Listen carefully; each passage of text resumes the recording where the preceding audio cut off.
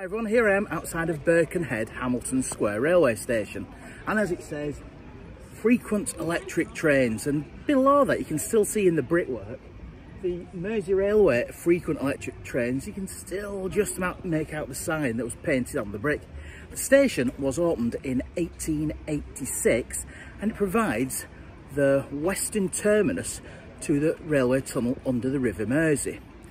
What's different about this underground station is it's one of the few on Merseyrail not to have escalators, it's got lifts. The current lifts were installed in 1970 and they've got a capacity of 70 people to the quite big lifts. Let's look at the building. Quite a, quite a magnificent building is Hamilton Square. Now, I did a bit of a stupid thing after. I thought, oh, a sign to use stairs and I used them. And this is what happened. So idiot is just going up the steps at Birkenhead Hamilton Square. I thought I'll do a Geoff Marshall and do the steps. It's 11 stories high. So anybody else who's fairly unfit like me, get the lift at Hamilton Square. Don't, don't try the steps. But if you're interested, this is what the steps look like. Suppose it keeps me fit.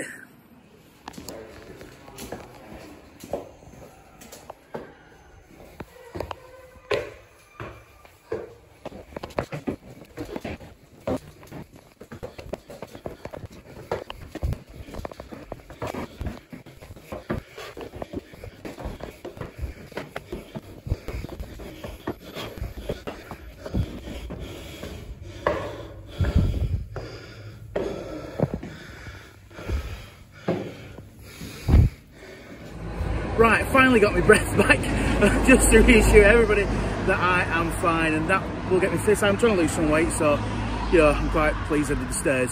But on the way back, I'll be taking a lift. Thanks for watching, hope to see you soon.